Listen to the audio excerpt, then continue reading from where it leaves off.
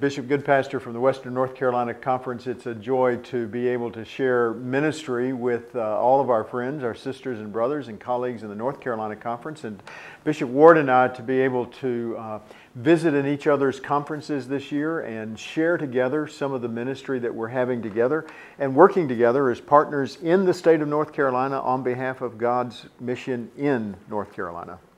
Uh, my name is Hope Morgan Ward. I'm the bishop in the Raleigh area, eastern North Carolina. As I like to say, I have the beaches. Bishop Goodpaster has the mountains, and we share the Piedmont.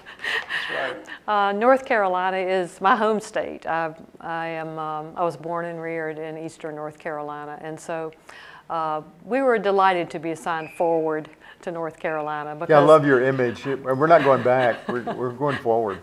Well, in the eight years in which we were in Mississippi, so much happened here uh, in the reconfigurations, in the, the rethinking of the way that uh, resources are being deployed and, and looking uh, toward the future. And it's been wonderful to reconnect with that and to be assigned forward to a place where we have long history and have connections and relationships with people and uh, to acknowledge the, the great work that's been done in envisioning a different sort of future. And uh, between our two conferences, we have 1,900 local congregations and about a half a million United Methodist people. You know, it's really exciting to think about how many churches, how many people, and how we can leverage that. As we think about uh, half a million people uh, serving, working across the state of North Carolina and other parts of the world. Uh, partnering together to really make a difference for, for Christ in the world. In literally every community, in rural places, in urban places, in places um, where there are many resources and in places where there are very few resources. Uh, we really do have great, great potential uh, as a movement we really Wesleyan do. Christians. I, and you know, the, the whole new emphasis in the book of discipline with district superintendents being uh, missional strategists for the, for the district really led us to think about what does that mean and knowing that the two conferences were reducing the number of districts, uh, an opportunity for us to, to go into retreat together. We've had Gil Rendle meet with us twice. We're anticipating more. And uh, the whole image of us working together, prayer partners together, but making a difference. We've started talking uh, together about how, what we can do in the lives of children uh, through our schools. And again, 1,900 churches, half a million Methodists, we can impact a lot of children. Uh, we have a heritage of having worked together in ways across the years, and we give thanks for that. It uh, helps us know, it, it, actually builds our confidence uh, in knowing that we have in the state of North Carolina a character and a reputation among other Christians and in the community for particular uh, emphasis in our, in our mission. Our work with children, our work in disaster response, our work in mission in the world. And we want to grow that together and be mutually strengthened as we encourage one another. I know uh, all of you in the North Carolina Conference have been uh, working very hard uh, through your huddles and, and, your emphasis on discipleship and growing together. Uh, we've been talking about how churches come together in missional networks. And so, as bishops, we have an opportunity also to model for the whole state that uh, we're, we're not actually working in silos here, but what happens in Raleigh and what happens in Charlotte and Greensboro and Greenville uh, really makes a difference. And we have a chance to, uh, to join hands and link to make a difference. It's a way of embodying the connection. Uh, our discipline describes the connection as a web of interactive relationships. And it is um, tempting to become siloed. It's easy to fall back into those kinds of patterns. Uh, and as our conferences connect with one another, uh, we continually remind ourselves and teach all those within our conferences to link, to connect, uh, and to be Wesleyan. Um, you know, you mentioned that uh, we have a history of this, and certainly in disaster response, because um, while you serve the conference that has that exposed coastline over there, um, and I know Western North Carolina has been a part of that, there was a history with campus ministry as well uh, that we were sharing together. So now in the 21st century, we're, we're looking at forging some new ways of working together.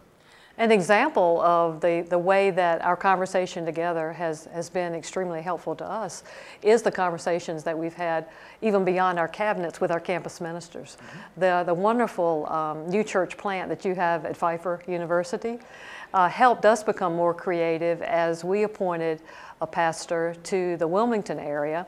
The churches in the Wilmington area wanted to come together and support together a new campus ministry uh, for United Methodist students on the campus of UNC Wilmington. And so again, that synergy of great things happening in Pfeiffer, uh, helping us be more creative in the way we thought about campus ministry as we move toward this annual conference. And, and amazingly, I just had a conversation with our campus minister at Appalachian State who's uh, really concerned about students who graduate out of strong Wesley Foundation programs and campus ministries in both sides of the conference and nowhere to go. And so he's beginning to dream about how can we leverage our students who graduate from our colleges, been involved in campus ministries, who may go to App State but end up living in Cary, or who may go to UNC Chapel Hill and end up living in Asheville. How can we work uh, ways that we start churches or we find new faith communities so that we take advantage of what they've been learning? In the last year, the Wesley Foundation at the University of North Carolina, Chapel Hill, uh, has moved, having sold their building, which uh, they've had for many, many years, uh, have moved um, up on Franklin Street, and they are meeting uh, right on Franklin Street in a, a, second level above the, some of the shops on Franklin Street, which is a great image for the church, moving out where the people are, rather than being in a building and encapsulated, uh, being right in the middle of the action. So one of the things that has excited me about uh, your being in Raleigh is to renew uh, that close working relationship. It started with Katrina and uh, the disaster that, that we had in the conferences we were serving previously.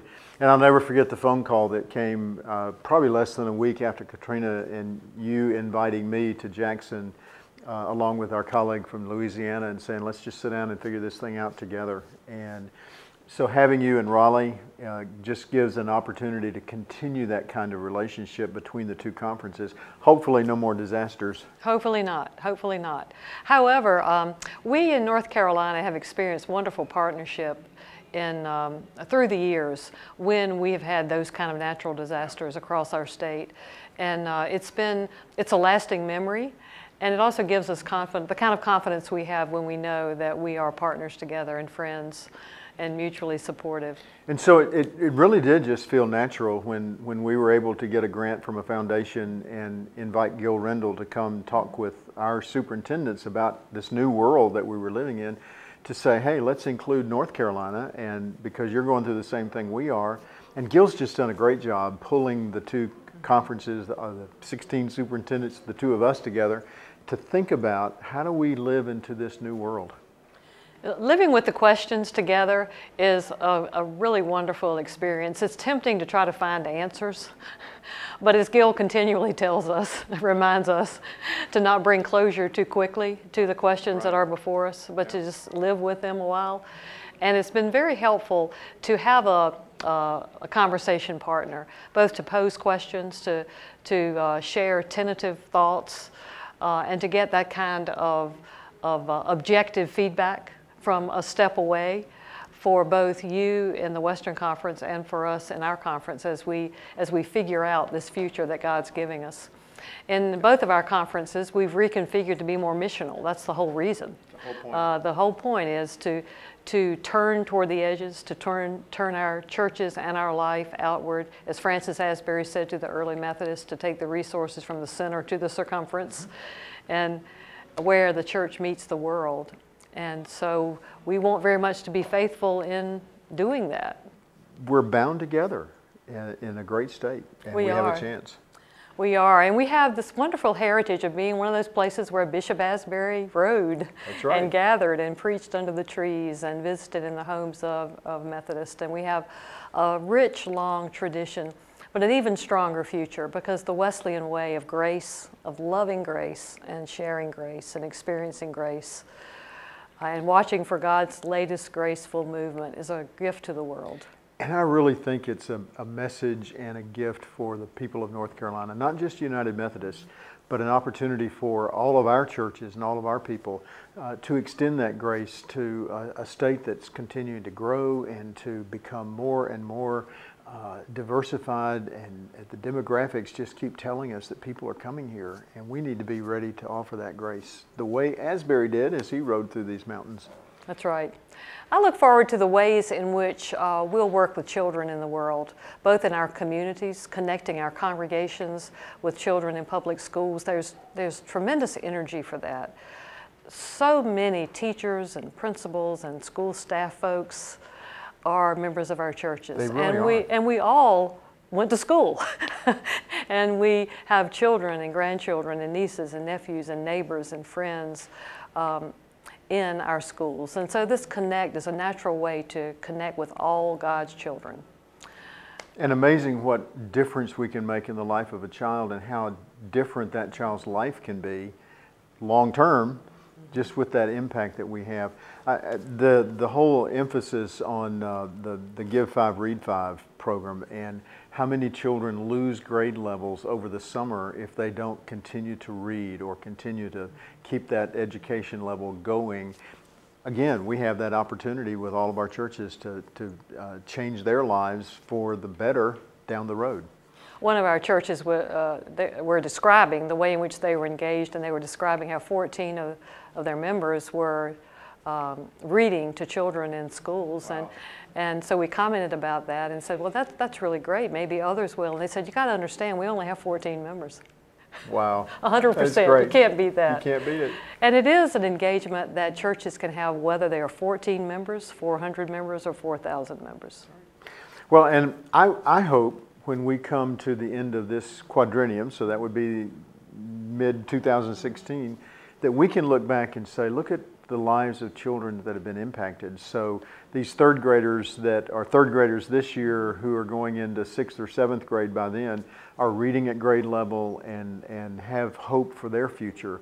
And I think if we measure anything, we measure what kind of impact we have on their lives, the lives of their families. Absolutely. And we also look forward in this quadrennium to increasing the number of children that we're helping globally, particularly through uh, Zoe, uh, with our work in empowerment ministries in Africa. Uh, and that work, uh, the need is very expansive and our resources are expansive.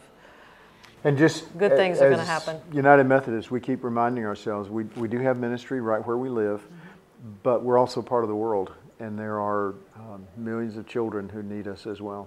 Our work with children in schools and our work with children in Africa are two examples of many, many ways in which we will continue to be partners in ministry. So we look forward to that very much, all that God will do among us. And it's been good to share these two conferences together. And uh, Bishop Ward, I'm just so grateful for you um, initiating some of that conversation and uh, the opportunity to be together. And we look forward again to how God is going to use all the United Methodist churches across North Carolina to make a huge difference in this world. Making disciples of Jesus Christ for the transformation of the world is going to start right here in North Carolina. Amen.